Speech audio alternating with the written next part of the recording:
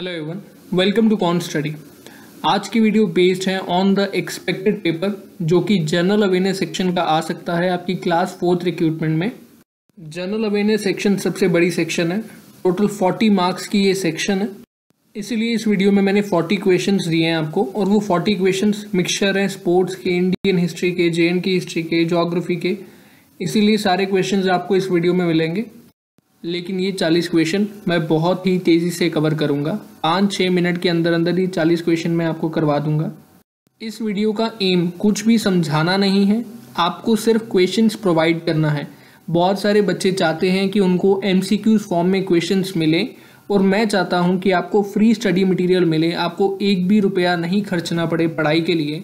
मेरे हिसाब से एजुकेशन फ्री होनी चाहिए और जितनी आपको मिल सके, उतनी हम आपको प्रोवाइड करेंगे। और हम आपको total thirty forty expected paper provide करेंगे, जिसकी पीडीएफ हम टेलीग्राम ग्रुप में डाल दिया करेंगे। वैसे मेरी कोशिश यही रहती है कि बच्चा अपने हाथ से लिखे ताकि उसको याद हो जाए। लेकिन अगर आप बहुत ही आलसी हैं तो कोई दिक्कत नहीं है टेलीग्राम ग्रुप पे जाइएगा, वहाँ पीडीएफ डाउनलोड कर लीजिएगा।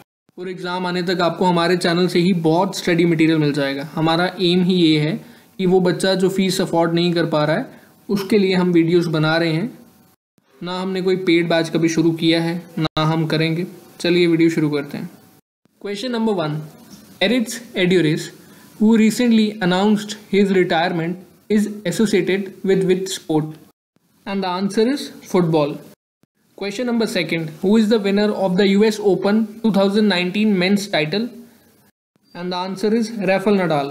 Question number three Which of the following geographical term related with the naturally formed narrow typically navigable waterway that connects two large bodies of water?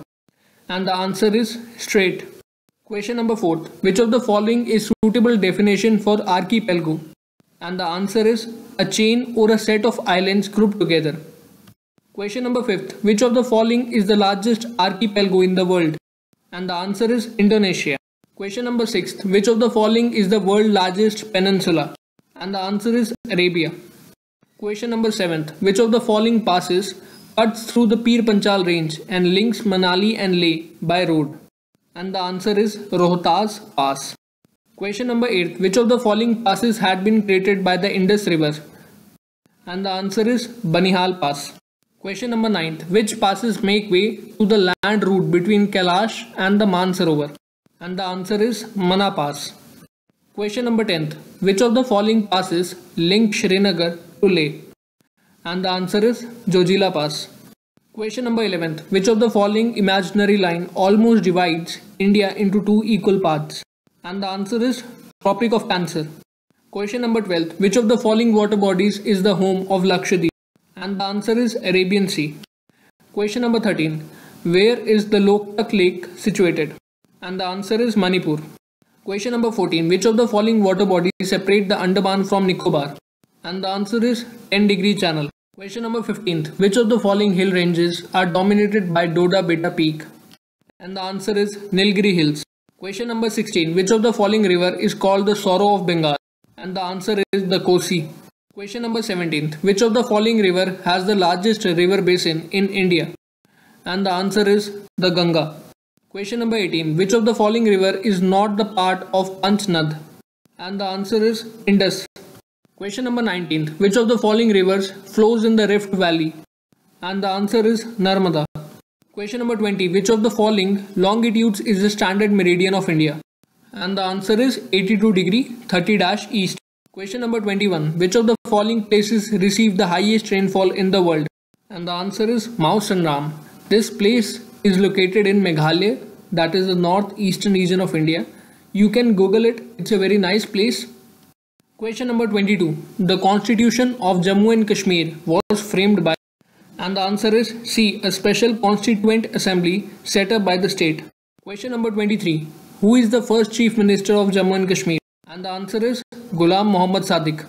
Question number twenty four which town in Jammu and Kashmir is known as apple town ये question आप खुद करिएगा बहुत simple question और answer नीचे comment box में करिएगा question number twenty fifth from which year the constitution of Jammu and Kashmir was implemented and the answer is nineteen sixty five question number twenty six who bought Kashmir from British and the answer is Gulab Singh question number twenty seven the Shalimar Bagh was build by and the answer is Jahangir Question number 28. When was Kargil war held? And the answer is 1999. Question number 29. Between which mountain ranges is Kashmir Valley located? कौन सी mountain ranges के बीच में Kashmir valley located है? And the answer is Himadri and Pir Panjal question number thirty the Hemis national park is famous for Hemis national park किसके लिए famous है?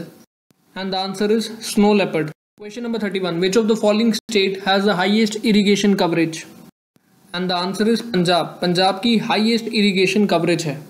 Question number thirty two which of the following was a part of green revolution strategy option A high yielding variety seeds option B chemical fertilizer and pesticides and option C irrigation and the answer is all of the above that is high yield variety of seeds chemical fertilizer and pesticides plus irrigation ये तीनों ही part थे green revolution strategy के. Question number thirty three McMahon line is a international border between McMahon line किन दो देशों के बीच में इंटरनेशनल बॉर्डर है? And the answer is India and China Question number 34. The highest dam of India is and the answer is Tehri Dam. Tehri Dam India का highest dam है. Question number 35. The Red Cliff Line is the international border between जो Red Cliff Line है वो किन दो देशों के बीच का international border है and the answer is India and Pakistan. Question number 36. The Durand Line is the international border between and the answer is boundary line between Afghanistan and Pakistan. Number 37. Which are the twin cities and the answer is Hyderabad and Secunderabad. Question number 38. Which states of India touches the boundaries of the largest number of other states?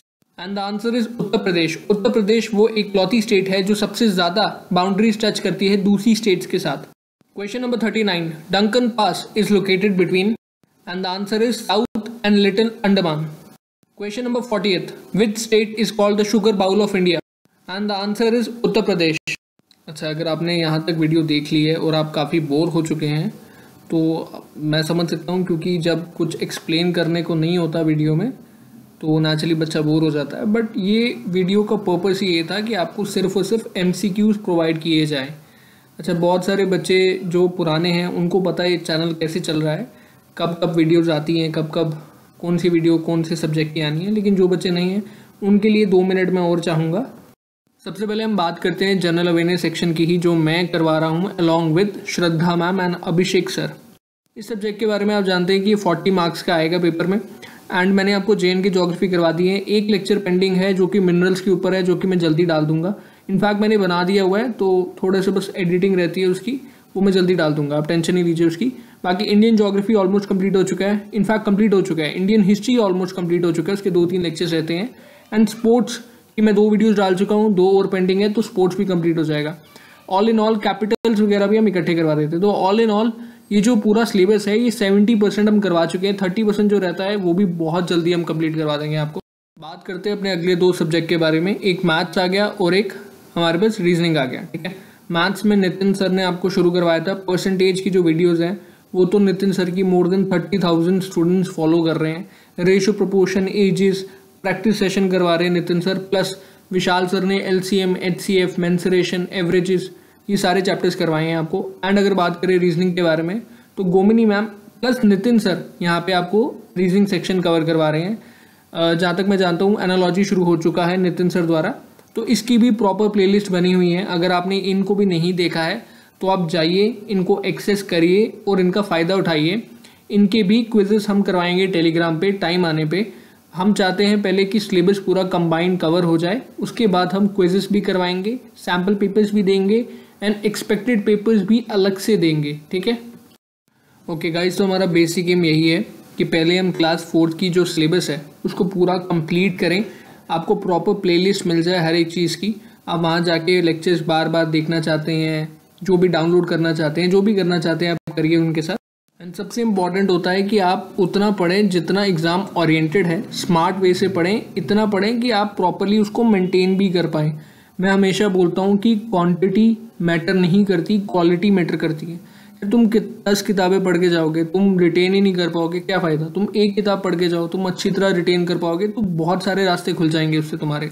अब मैं कुछ channels को देख रहा था, वो क्या करते हैं, उनको ना एक पर्टिकुलर सब्जेक्ट में ना व्यूज़ आने शुरू हो जाते हैं।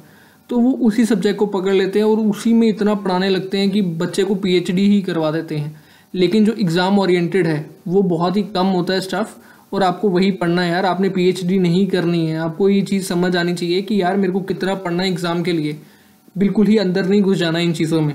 एंड इन दी एंड मैं आपको यही बोलूँगा कि आप अपना फ़ायदा सोचिए। आपको अगर हमसे समझ नहीं आता है किसी और चैनल से समझ आता है तो वहाँ से पढ़िए। बट इन दी एंड मेरा मोटिव ये है कि आपका फ़ायदा होना चाहिए। आपको जॉब लगनी चाहिए, आपका नाम मेरिट लिस्ट में होना चाहिए that's it thank you and God bless you all